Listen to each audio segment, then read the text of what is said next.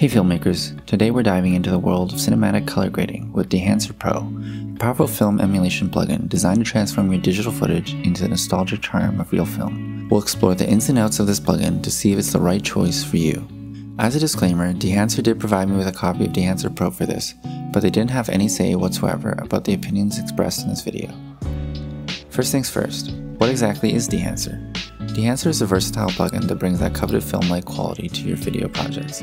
It's compatible with the most popular editing programs such as DaVinci Resolve, Adobe Premiere, After Effects, and Final Cut Pro.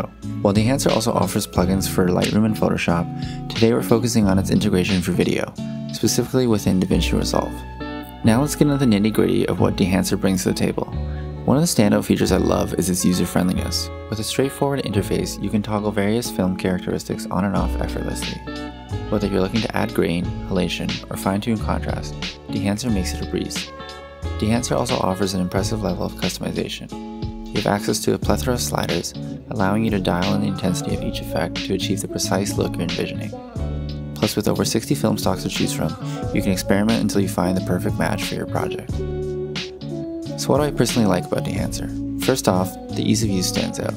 You can toggle effects on and off with a click, making it easy to see the impact of each adjustment, the abundance of customization options, thanks to those sliders, lets you dial in the exact look you're going for. However, like most things, it's not perfect. One downside I encountered was its performance on hardware. On my M1 Max MacBook Pro, which has 32GB of RAM, I still face slowdowns during playback, preventing me from enjoying full resolution previews. This hiccup even led to drop frames within DaVinci Resolve.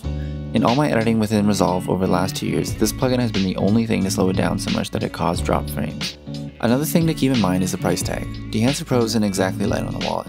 At $449 US, it's priced higher than DaVinci Resolve Studio itself. Having said that, they do have a lower priced light version, as well as plugins if you just want the film grain or bloom.